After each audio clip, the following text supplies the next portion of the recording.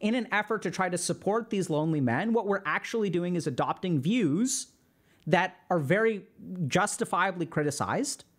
But in justifiably criticizing those particular views, we're actually invalidating the core of the problem. So, this article about the rise of lonely single men was written by a PsyD and talks about how dating opportunities for heterosexual men are diminishing as relationship standards rise. Men represent approximately 62% of dating app users, lowering their chances for matches. Men need to address skill deficits to meet healthier relationship expectations. So I, have been linked to this article by multiple people, which is part of why we're addressing it. And today, what I'd love to do is is talk a little bit about, you know, is there a rise of lonely single men? If there is a rise, why that's happening and what we understand about, you know, where this is coming from I'd also like to talk a little bit about what makes this what makes it hard for people to be empathic to single lonely men and i think men have a, a hand in that. So we're going to talk a little bit about why this is such a hot topic. So even already i want y'all to pay attention to yourself. And as i say i'm going to talk about this notice the emotional reaction that you're having right? So maybe you're sort of thinking like, oh, this is fantastic that that Dr. K is talking about this. This really needs to be addressed. Or maybe you're thinking, oh my God, not another discussion about you know toxic, lonely single men. And we're going to be sort of exploring that sort of reaction and why that happens. And both are, are completely valid perspectives. We're also going to touch a little bit. We've done this foray a couple of times, the sometimes very unsuccessfully. Uh, we're going to talk a little bit about gender dynamics, just sort of in a general sense. And this is something that I think has been a hot button issue for the internet. And it's been a hot button issue for us. But what we're sort of noticing in our community is that it's an ongoing concern for so many people. And I have faith that if we kind of keep trying, we'll eventually sort of figure out how to sort of deal with this kind of stuff in a healthier way. The other thing that we're going to address today is sort of how to critically read articles. So we're going to not only be looking at this article and sort of like tunneling down a little bit about the editorial process and things like that, because sometimes I don't know if y'all are kind of aware of this, but like, you know, Psychology Today and other publications are, are trying to get views, right? So they'll sort of pick titles and things like that that that are kind of quite inflammatory and will create emotional reactions but we're going to tunnel down and look a little bit more critically at the sources that are cited, what the actual sources say. And I encourage all of you to really be critical when you're reading articles. So instead of sort of rejecting this article because it doesn't agree with your worldview, or you know gobbling it up without any sort of critical thought because it mirrors your own experience, what I think we really need to do, especially as articles are getting more and more clickbaity, is to sort of think a little bit critically about the points that they're making and what's supported by data and what isn't. I want to check in with y'all for a second about, first of all, how do y'all feel about this? Is this okay for us to talk about? Are these like acceptable goals? Is there is there an acceptable sort of nuanced or critical way to look at this? Okay, awesome. So there's going to be a couple dimensions. We're not just going to be talking about this. We're also going to be talking about gender dynamics and critically looking at articles. Okay? So it's going to be like it's not just oh, like it's so simple. This is what's going on. Men are screwed. Period. End of the, end of it. No, it, it, it's so much more nuanced than that. Okay? So let's start with a, a couple of acknowledgments just about gender in general. Okay? So something that's going on right now on the internet is that people will talk about a specific gender related issue. So, for example, this article cites multiple things that are specific to men.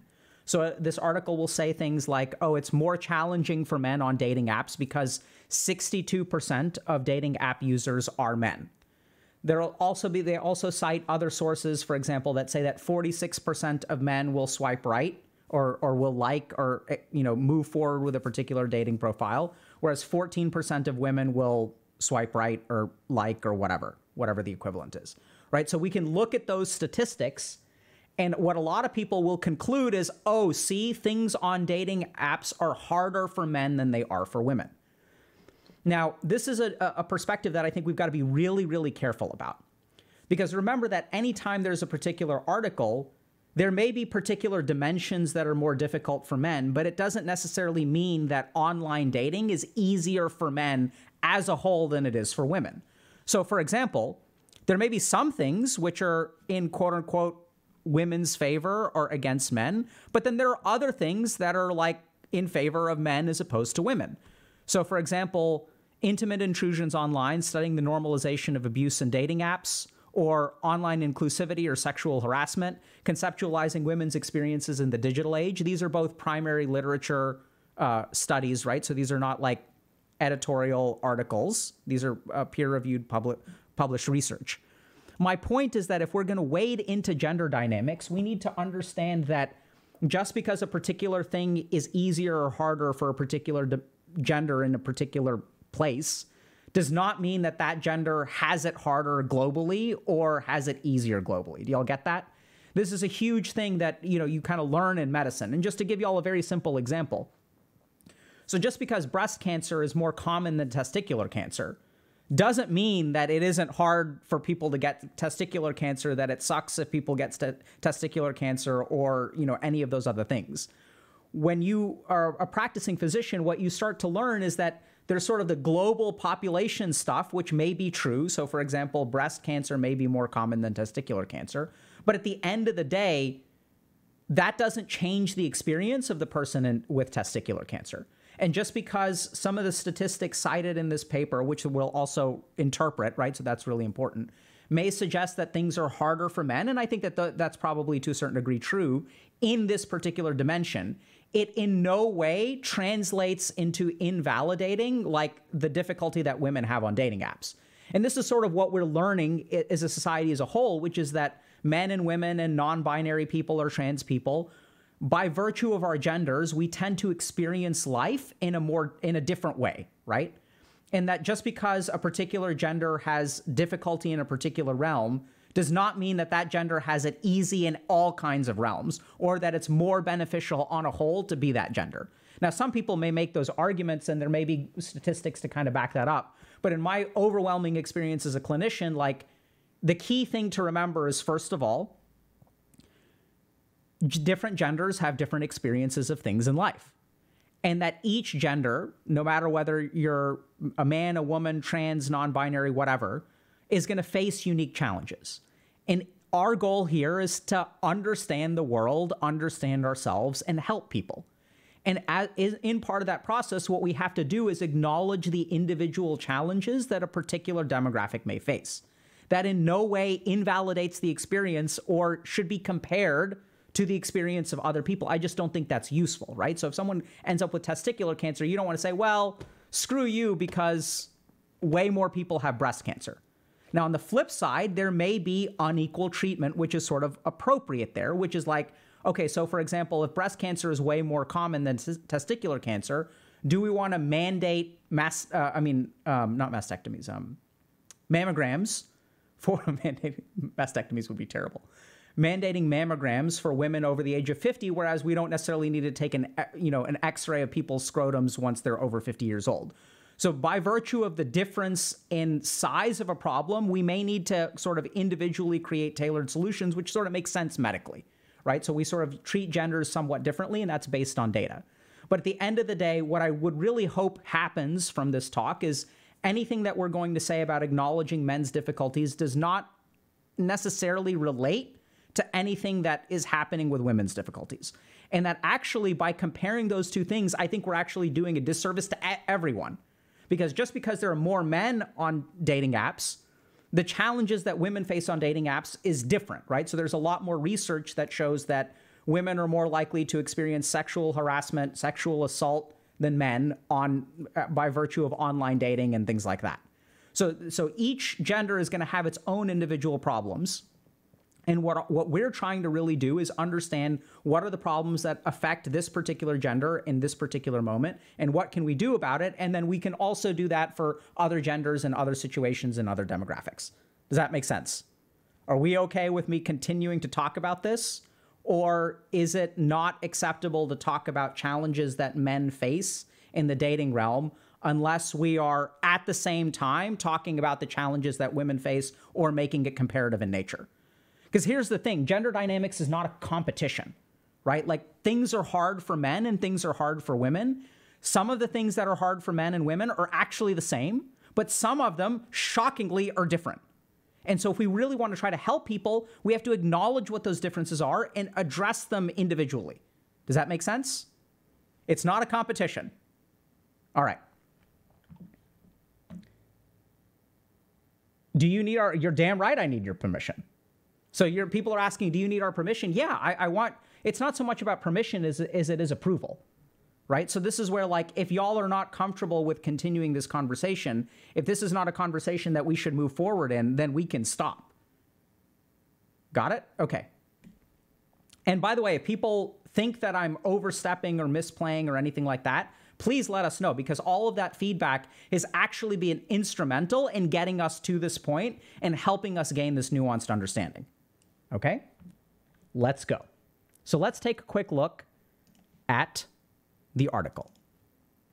So, younger and middle aged men are the loneliest they've ever been in generations, and it's probably going to get worse. This is not my typical rosy view of relationships, but a reality nonetheless. Over the last 30 years, men have become a larger portion of that growing group of long term single people. And while you don't actually need to be in a relationship to be happy, men are t- typically are happier and healthier when partnered. Here are the three broad trends in the relation, relationship landscape that suggest heterosexual men are in for a rough road ahead. Dating apps. Whether you're just starting to date or you're recently divorced and dating again, dating apps are a huge driver for new romantic connections in the US.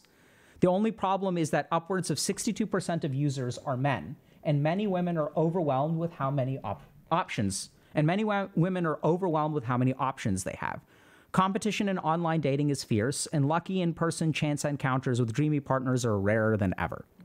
So let's stop for a second and try to look at this a little bit critically.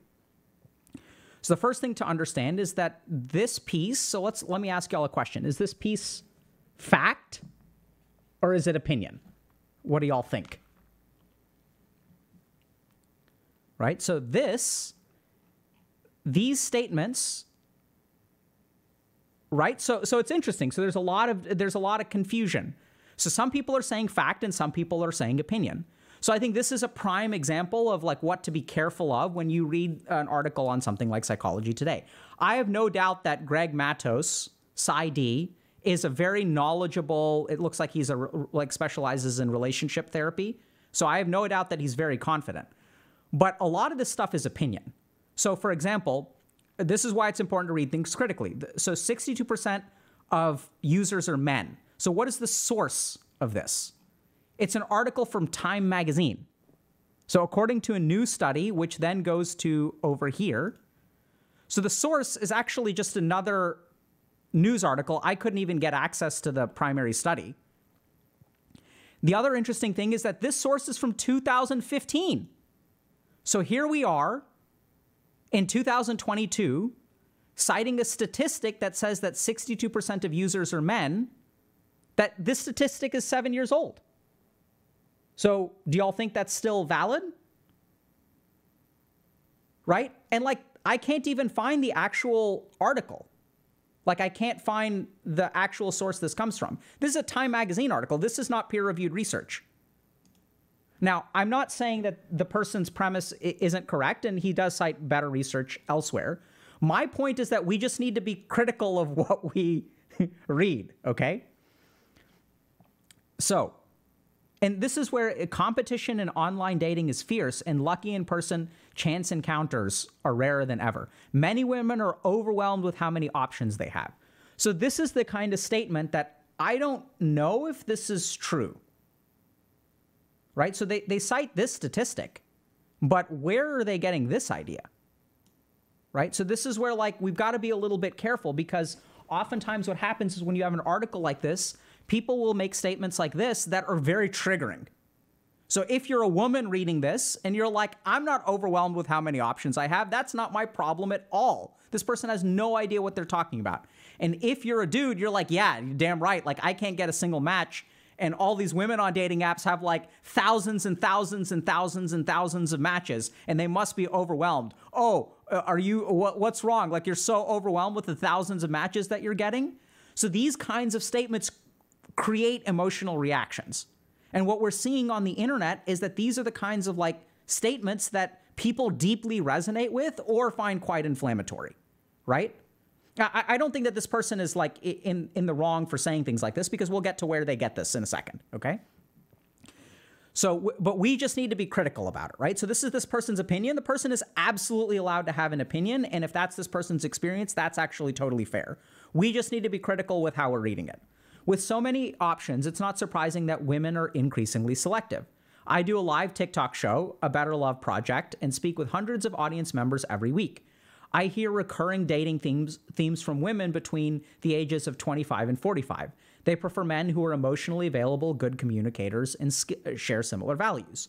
So let's think about this for a second. So I'm getting the sense that this person's perspective on women is coming from a live TikTok show where they discuss things with audience members right? So this, once again, it, it's useful perspective to have, right? It's in fact the same perspective that we often use, which is that we like to talk to people directly in our community and try to, you know, sort of get individual perspectives, anecdotal evidence.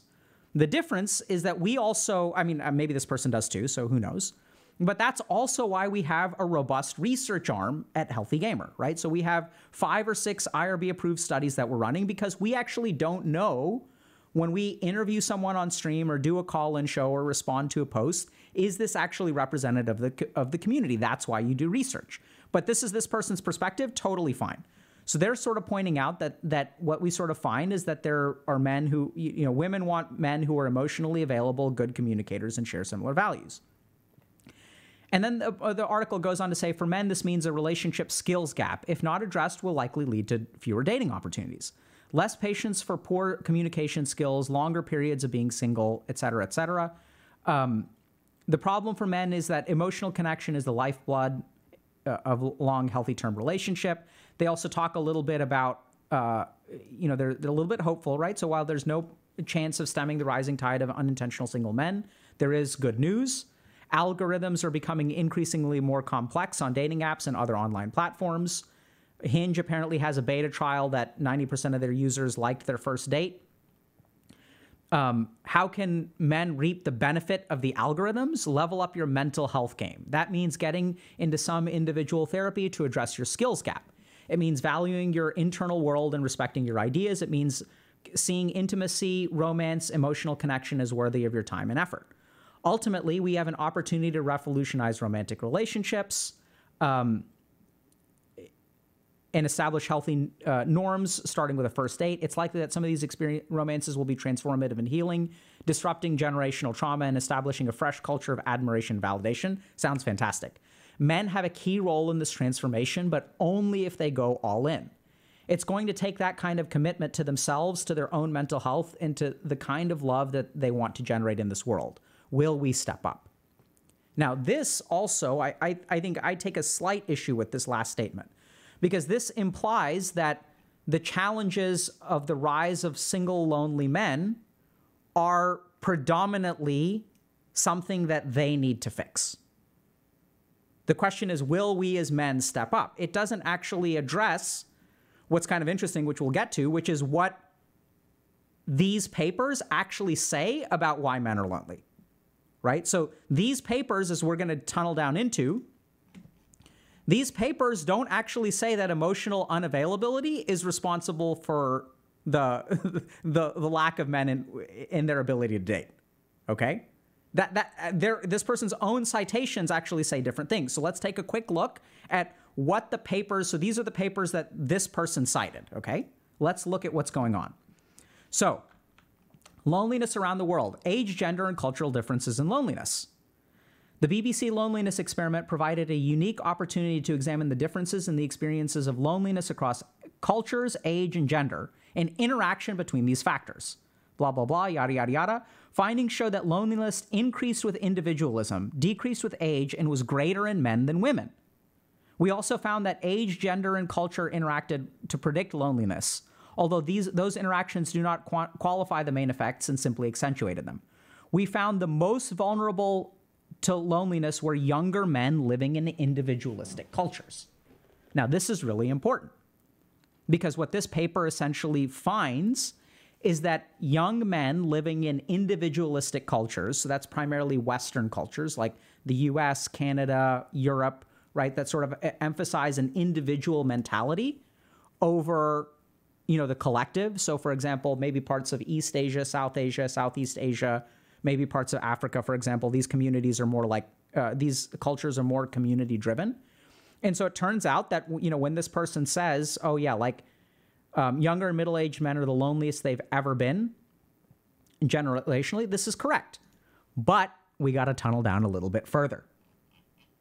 So as we go down and we look at it let's see what the authors of the paper actually say. The finding that loneliness was higher in individualistic compared to collectivist cultures should be interpreted with caution.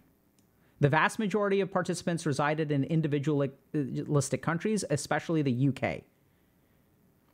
Um, that does not explain why the effect was stronger for men and younger people. Okay? We propose that there is something about individualism that enhances loneliness, particularly if other risk factors are present. So that's kind of interesting. We found that loneliness was higher among men than women, which is contrary to the findings from the ONS 2018 survey. Oh, interesting. So it seems like in previous research, this has not been uh, found to be the case. Um, so that might mean that men need particular conditions to speak about loneliness, et cetera, et cetera. You all can read this paper if you want to, it's in the public domain. So here's another thing to, to mention. As already indicated, uh, it must also be kept in mind that we used a large non representative sample of participants who volunteered to speak about their feelings of loneliness. Finally, it is important to acknowledge that the effects we found were very small, although co- consistent across all dimensions. We take this to mean that those effects are real and loneliness is a fairly universal experience across demographic categories. Data also provided by a large sample of individuals found different ages and from a large number of different countries, uh, thus providing statistical power. The key thing here is that if we actually look at the effect sizes of gender, and I'm a little bit rusty on statistics, but I think this is a relatively small effect size, right? So we're talking about uh, 7% to 10, I guess, 0.07,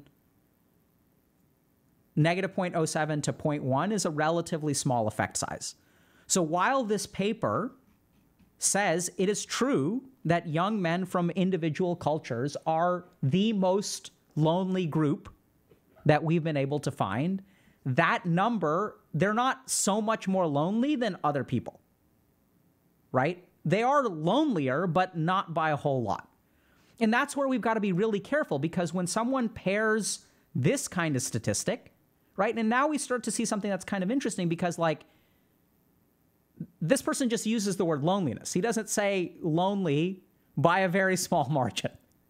And then when we see 62% of users are men, based on research from 2015, we start to construct this idea that lonely like there's an epidemic of large uh, of lonely single men. Now, I do think that this is true, but I don't think that the gender dynamic is as disparate as people think it is. And that's what the research would suggest. The other really, really devastating thing about this that, that I was really kind of hesitant on is this person talks about fixing a skill deficit, which we're going to talk to y'all today a little bit about how to do that because even though I disagree with some of the statistics, I think the the point that the person says is very good, which is that generally speaking, women, you know, may be looking for emotionally available, good communicators, and that probably correlates with health, uh, health and happiness in relationships. So we're going to teach y'all a little bit later about how to be emotionally available. What does that actually mean? Right? Because everyone's like, oh, like I'm looking for someone who's emotionally available. And if you're like, if you're listening to that, it's like, okay, how do I do that? We're going to teach y'all. This is what's kind of interesting. So the, this person also um, cites this article, which is from the Pew Research Center. Okay. So Pew Research Center is a pretty legitimate research organization, but once again, not necessarily peer reviewed scientific publication. But the interesting thing is that as you tunnel down into what the, uh, the Pew Research Center shows, it doesn't talk about you know men being single because of emotional unavailability. What it actually talks about is kind of interesting. So let me try to find this. The growing gap in economic success between partnered and unpartnered adults may have consequences for single men who would eventually like to find a partner. In, in a 2017 Pew Research Center survey, 71% of adults said being able to support a fi- family financially is very important for a man to be a good spouse or partner. Similar shares of men and women said this, right? So 71% of both men and women, or 71% of men and women believe, or 71% of adults in an equal share of men and women believe that it's important for a man to be able to financially support a family. In contrast, 32% of adults and just 25% of men said this is a, a very important for a woman to be a good spouse or partner. So if you really look at what men and women value in terms of being partnered, this is a staggering difference between the genders, right? A 32 versus 71% difference in terms of how important is being able to financially support a family in terms of like for a man versus a woman. So we, what we start to see is uh, like a lot of interesting things, right? So if you look at uh, unpartnered versus partnered adults, right? So unpartnered adults are 29% of them have completed a bachelor's degree, whereas 41% of partnered adults have a bachelor's degree. We start to see a difference between are employed, um, 75 versus 82%, right? 35,000 median income versus 49,000 median income. That's pretty wild. We're talking about a 40% increase in income that results in being partnered.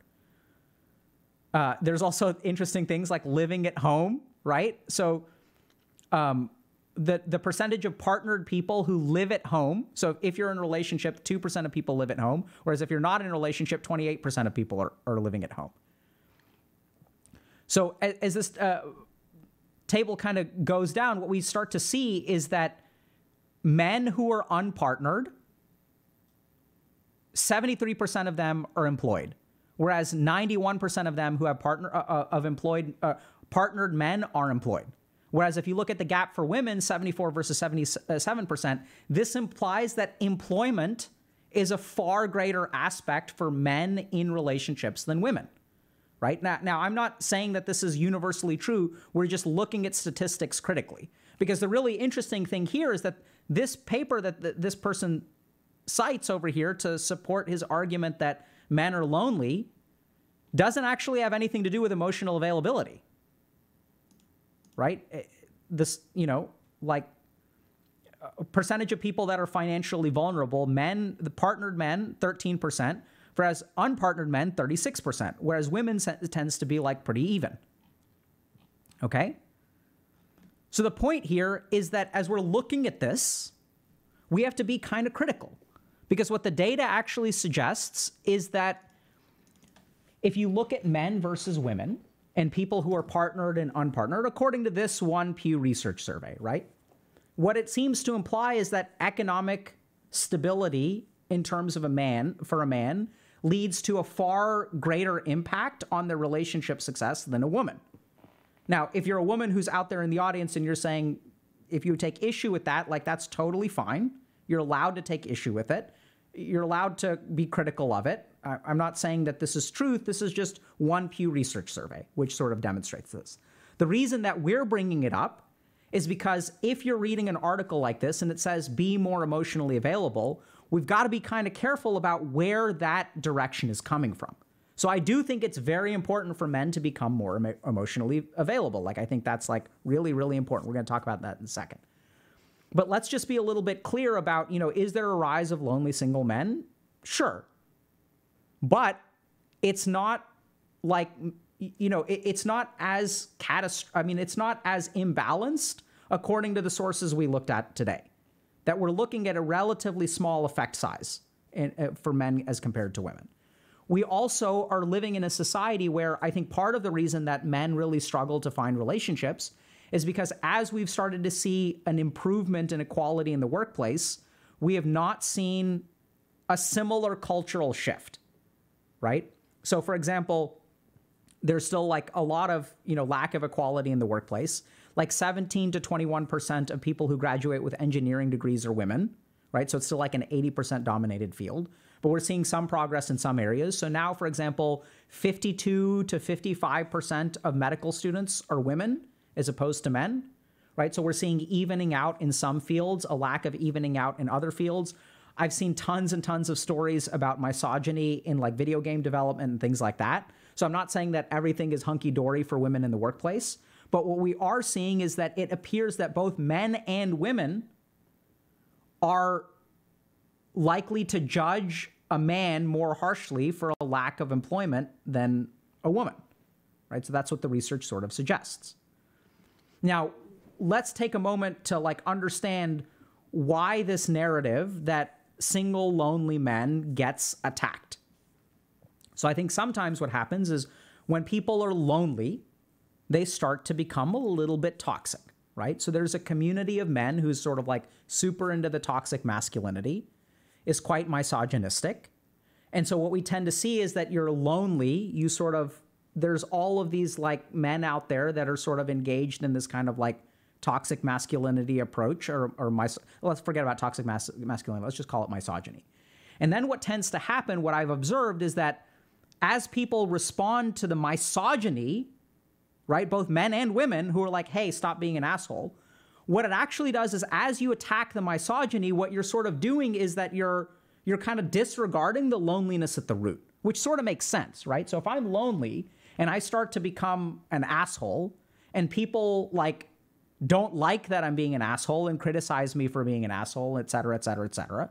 That sort of makes sense. And what it actually does is bypasses the fact that I'm lonely to begin with. So it's almost like what, what's happening is we're getting an invalidation of lonely men because as lonely men gravitate towards polarizing figures that are misogynistic, and remember, this is the internet.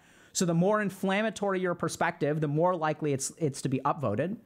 So there's like this rise of misogyny. There's a devaluation of the misogyny. And in the devaluation of the misogyny, what you're having with it is a devaluation of the underlying loneliness. Right? Does that make sense?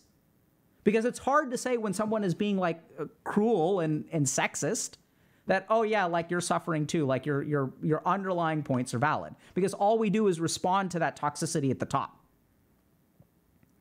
and so this is something that's, I think, really, really devastating because what's happening is that in an effort to try to support these lonely men, what we're actually doing is adopting views that are very justifiably criticized. But in justifiably criticizing those particular views, we're actually invalidating the core of the problem.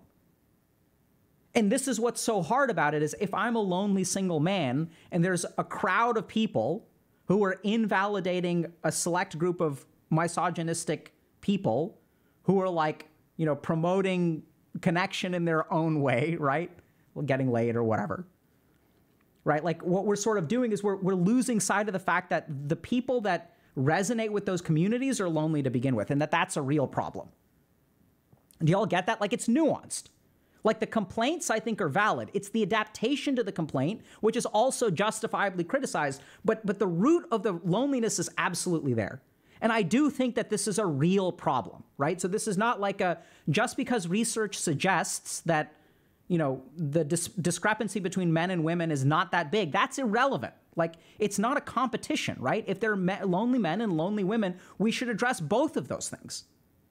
And saying that oh, it's not like men are uh, much more lonely than women doesn't actually help because there's still a gigantic pile of lonely men. You can't invalidate just because I've got testicular cancer and someone else has breast cancer, it doesn't mean, oh, you've got testicular cancer. This person has breast cancer. So screw everybody. No, both of these people need help. Right? Like loneliness is a problem for each gender. And the reasons for the loneliness can be specific and, and gender specific. And there are, for example, like differential experiences with dating apps. And even though the, the Time article said in 2015, you know, it's dated, but they cited that 14% of women swipe right versus uh, 46% of men swipe right. Right? And if that's true, that's a staggering difference in terms of dating behavior and will probably be affecting men and women differently. Now, why do women uh, uh, uh swipe right on 14% of the time? Who knows? Maybe it, does it have to do with employment? Does it have to do with median income? Does it have to do with emotional availability? Like, who knows? And just because uh, women are more like or more selective on dating apps than men doesn't mean that women have it easy on dating apps. Y'all get that? Like you can have an advantage as a gender, but that doesn't mean that like on the blanket that everything is easy for you. Because most of the time when I hear about complaints around dick pics, inappropriate sexual behavior, things like that, right? It's like the women who are complaining. So it's not like they have it easy. And this is what we've got to be really careful about is if we want to try to help people, we can't invalidate someone's perspective just because we're suffering. It's not a competition, and it's not like the amount of help to go around is limited. What limits it is our own perspective. What limits the amount of help is like the compassion that we give or don't give when someone else says I'm struggling. Now, let's talk uh, for a second about. So, just to kind of summarize, you know, I think this is a good article. I think it's an opinion, and it's important to remember that this is opinion. If you find it inflammatory or if you find it validating, both are reasonable perspectives. As we tunnel down into the research, I think the story that they sort of end up telling is very different from what the research actually suggests. That's important to remember. Is there a rise of single lonely men? Yes. Is the most vulnerable population for loneliness in today's world young men from individual cultures? That is also a factual statement. Turns out that the size is not that big. The discrepancy is actually not that big. But the reasons for the partnered versus unpartnered, right? The reasons to be in a relationship do seem to be heavily influenced by gender. So I think we live in a world where, despite a, an improvement in equality between men and women, there is a lag of social acceptance for employment and financial related issues for men. Now, this is where, like, you know, the a lot of the the pro men kind of people will talk about oh like all you got to do is make money and grind and all this kind of stuff and that's all women care about. I think that's a simplistic view right? I, I don't think that that's the case. And and anyone who kind of says all oh if you want to attract a man all you need to do is this. If you want to attract a woman all you need to do is this. Has no idea that like i don't know if you'll get this but men and women are human beings that have individual preferences. And some women don't care about how much their partner makes, and some women do. Some men do care about how much their partner makes, and some men don't. I know it's shocking, but the behaviors of a gender cannot be reduced to a gender, and there's individual variation. Like, I know this is kind of weird as well, but there are actually some men who don't even want to sleep with women. Can y'all believe that? And there are some women who are actually not interested in dating a man, no matter how much money they have right? Like there are individual variances amongst people. And so we've got to remember that. Now let's move on to one last thing from the article. I know it's it's bizarre. It's bizarre. You know, wait till some of those, you know, some of the the pickup artist crew figures that out. They're going to be shocked. All right. So, let's talk about emotional availability for a second. So like if you're in this situation, and I think the article is decent, right? So it's psychology today. So you know it's going to be an opinion piece that's written by someone who's got a bunch of experience, cites a couple of statistics, and then sort of concludes that men need to rise up and step up to the challenge of emotional availability. I don't quite agree with that because I think a lot of this is societal, right? So I think that as you look, if 71% of people think that men need to have you know be be able to financially support a job versus 32% of women i mean financially support a family versus 32% of women believe that you know a woman should financially support a family. And the economy is getting worse. We're getting you know wage stagnation. We're sort of seeing more inflation. More people are living at home and things like that. Those economic forces i think are adversely affecting men more so than women in terms of a dating world okay? That too if you disagree with you're more than welcome to disagree with it I haven't done a thorough like literature search on it. I'm just using the sources that were cited in the article to come to that conclusion. And hopefully I think that's a pretty fair conclusion, right? So according to Pew Research, we see different things in men and women in terms of income and stuff. So as like financially the world gets harder, it's affecting men disproportionately to women. So in terms of dating. Now, once again, that doesn't mean that things are easy for women in this current world because there are going to be other things that are going on today. For example, the ease of which you can get doxxed and get stalked and things like that, that I think are disproportionately affecting women, right? So society is changing and each gender is getting screwed in different ways. And trying to like compete about it is like not worth our time. So, what does it mean to be emotionally available? So, this is where we've, we've been trying to figure out what is the mechanism through which coaching works. So, we tend to see is that when people come into coaching, they form better relationships, They actually do better professionally. Um, you know, they they start to form healthier boundaries and things like that. So like they they form better relationships with family members. They even will start to date, form better relationships with things like roommates and romantic partners and stuff like that. Your mileage may vary, but we've seen this general trend. So we were trying to figure out, okay, how does this happen? And what we sort of settled on was this concept of emotional quotient or EQ. So when we talk about emotional availability, I think a really good way to think about this is, is having a low EQ versus a high EQ. And the components of EQ are things like awareness of what you are feeling. Another thing is the ability to self regulate what you are feeling. A third thing is being able to communicate what you are feeling. A fourth thing is to be able to set aside what you are feeling in an effort in in the ability to be empathic to someone else. And the fifth thing is an understanding of how your emotions influence your behaviors. Okay? So I'm going to share a, a, story with y'all. So a couple years ago, I had a, a client who was sort of in this situation where they had this surprise set up for Valentine's Day for their significant other. They were going to take them to a particular like cool place in town. They'd made reservations and stuff like that. Right? So and it turns out that a couple weeks before because it was like the hot you know happen in a new place. So a couple weeks before, it turns out that their significant other is out with their friends and they spontaneously decide to go to that same location. So in in the client's mind like they had sort of set everything up to have this like magical Valentine's Day experience. And their partner goes and like goes there and checks it out kind of on their own with other friends. They're also like so there's a, a client is male, their significant other is female. Um, and so they're also like men in the group and things like that. So this is the kind of situation where this person has invested a lot of time and energy to create a wonderful surprise for their partner, and their partner goes and ruins it. Okay? Ruins it by going on their own. And now this person really struggles because, like, did their partner actually do anything wrong? No, not at all. Like, they were out with their friends. They decided to go hit up that place. And it's like, the other thing is, like, it's a surprise, right? Like, so it's not like the partner knew. Like, if, if they had told them, hey, by the way, I made reservations, I think it's going to be like awesome. I want to like celebrate this like new opening with you on Valentine's Day. It's not like they communicated it. They're, they're trying to make it a surprise. And so this person felt really resentful, right? Like, oh my God, like you took this, like, oh, this beautiful night is now ruined. But you can't really criticize the partner for it because the partner really didn't know, right? Like, so she wasn't really doing anything wrong and it's still ruined. So, what do you do in that situation?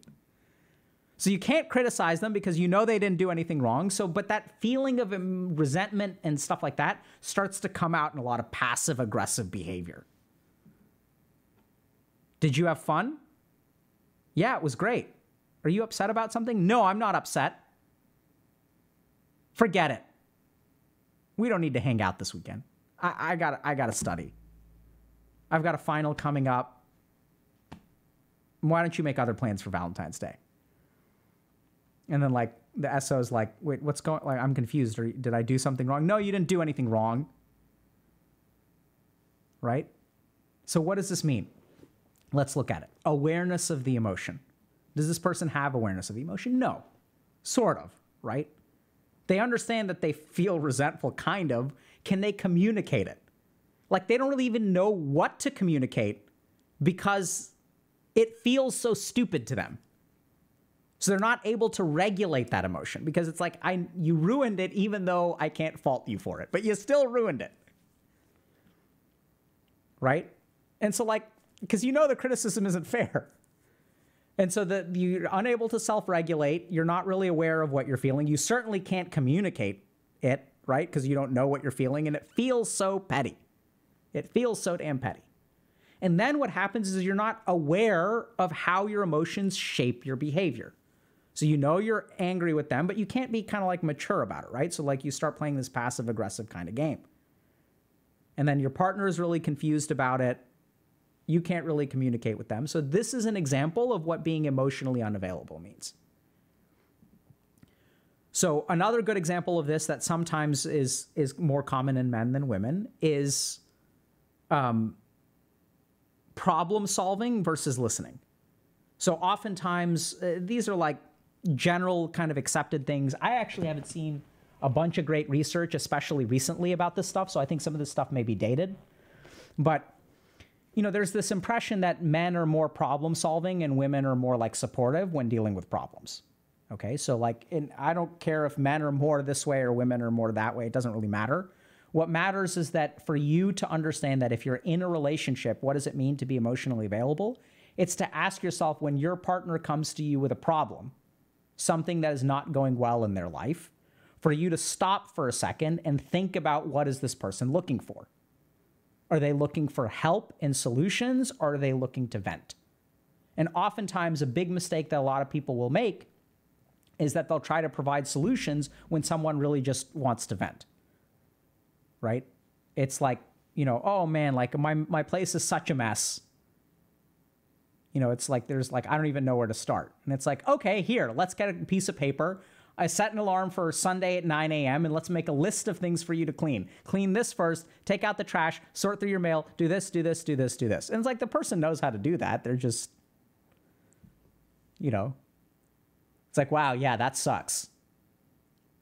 You ever get to the point where in cleaning where you're like, I don't need to clean yet, I don't need to clean yet, I don't need to clean yet. And then suddenly there's too much to clean. Right? Those responses are very different. Y'all get that? So I do think emotional availability is important. Is it arguably more important for men? Sure. So there's older research that suggests that, you know, men are raised in a particular way that they learn to manage their emotions differently. Are women looking for emotionally available men? I, I assume so. I think that Men are also looking for emotionally available women. And what are we basing that on? We're basing that on what people say when they call in to a TikTok show about dating. Right? But this is the other thing. Sometimes we'll, people will say things when they call into shows that are actually different from what they're what they're actually looking for. So when it comes to, for example, like dating research, it seems like what you know what leads to more success is a better median income, a college degree, being able to live and support a fine, you know, family and things like that. So at the end of the day, though, uh, you know, I think that becoming more emotional available is like really fantastic for men, women, and everyone involved. Like EQ improvement is good for all human beings. Do men need some more improvement on that? Maybe need some instruction on that more so than women? Maybe. So that's why what we're sort of talking about is okay, what is emotional availability? It comes down to a couple of things. First is awareness of your emotions. Second thing is the ability to regulate your emotions, the ability to communicate your emotions, the ability to set aside your emotions for the sake of empathy, right? And try to understand the other person's perspective or feel what the other person is feeling. And the last is to be aware of how your emotions influence your behavior. Does that make sense? So hopefully, this was an acceptable foray into the rise of lonely young men. Do I think it's a problem? Yeah. Do I think that men, young men from individualistic cultures are the most at risk group for loneliness? Sure. And it turns out that we've got to be a little bit careful because I don't think they're lonely just because they don't know how to be emotionally available. I think if you look at the research, there's a lot of very real demographic and worldly factors that are contributing to this including what people are looking for in terms of a mate, and also how the world makes it hard to be those things because of very real economic forces. And does emotional availability play into it? Absolutely. But I think we've got to be very, very careful about assuming that the responsibility lies solely with men. Right? So anytime we're looking at gender dynamics, we want to be careful about, you know, whatever the gender is and whatever we're talking about, if we're talking about equal representation at the C suite level, is this a societal problem or is this something that women need to step up? Right? I don't think it's fair to say that women need to step up. In general, I don't think it's fair to say that a whole demographic needs to step up because I think, generally speaking, people try pretty hard. Right? I don't think that like telling a gender or a race to step up like is fair. Like Indian people need to step up, white people need to step up, black people need to step up. I don't I th- don't think that that's fair at all. So do men have some responsibility in it? 100%. Do they have a lot of responsibility in it? 100%. So should you become more emotionally available? Absolutely. Should you boost your EQ? Absolutely. Will it improve your dating life and your professional life? Absolutely. And at the same time, we need to acknowledge that this is not all on the shoulders of the individual, right? As human beings, you can't blame an individual for a systemic issue. And the truth of the matter is, when it comes to something as complex as dating, I don't think it's an individual issue or a systemic issue. And it's just as devastating for men or women or whoever else to say, oh, this is a society thing there's nothing I can do. Let me throw up my hands. Oh, it's like I'm screwed by society, screwed by society, and absolve yourself of all responsibility and not try to actually improve yourself. The truth of the matter is that it's somewhere in between. Right? So this is what we learn from like tons of research in the field of medicine. Things are multifactorial. Bringing your cholesterol down, is that because your doctor isn't good enough or because you're not exercising?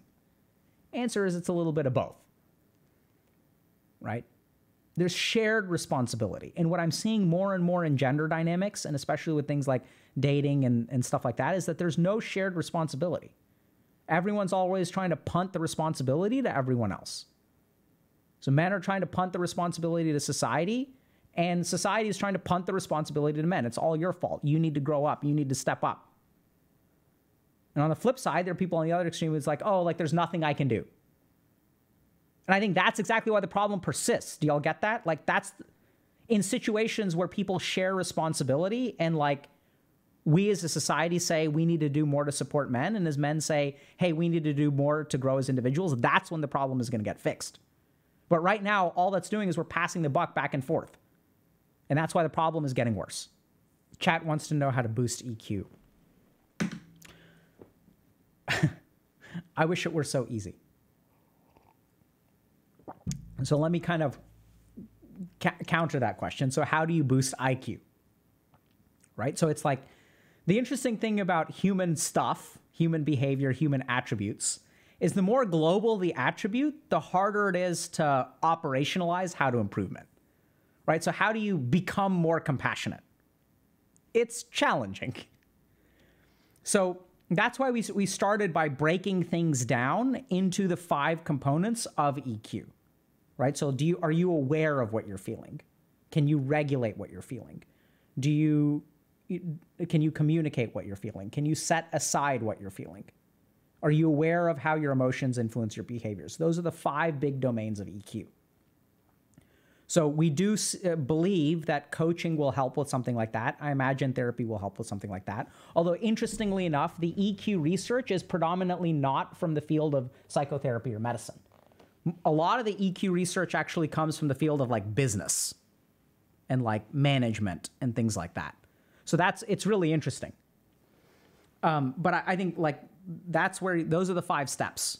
Um, what do you have to say about EQ not really being real as far as it not being a scientific term, but one coined by a journalist who wrote a book in the late 90s, early 2000s? I think it's a valid perspective. So that's where, as you look at the, how the research has progressed, people took the term EQ and they tried to figure out okay, is this a real thing that maps onto something that is scientific and measurable? And in that research, which once again, remember, comes out of management and stuff, so that stuff is like a little bit different, right? So it's eh, eh, what we've actually found is that there are domains of EQ which are scientifically valid. So awareness of emotions is absolutely a scientifically real thing. The ability to regulate your emotions is absolutely a real scientific thing. The ability to be empathic is absolutely a real scientific thing. So I think the cool thing about EQ research is that it may have been coined by a journalist in the business types, right? And I already said that most of it actually doesn't come from science. It comes from the business world. And then what's happened over the last 20 years is that scientists, as more and more people have been looking at it, they've been trying to figure out okay, what part of EQ is actually real and not real.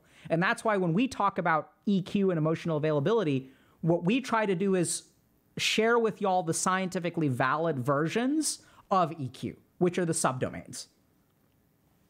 It's it's a it's a good. Does that sort of make sense? So like. Uh, journalists may have stumbled upon it, and then people thought, "Oh, this is kind of interesting," and they started doing management trainings and things like that, and it seemed to help. And then researchers got curious, and they're like, "Wait a minute, but what is this? Is it real?" And then they tunnel down into it, and this these are the discoveries that they made that I personally think are valid, which is why we share it this way.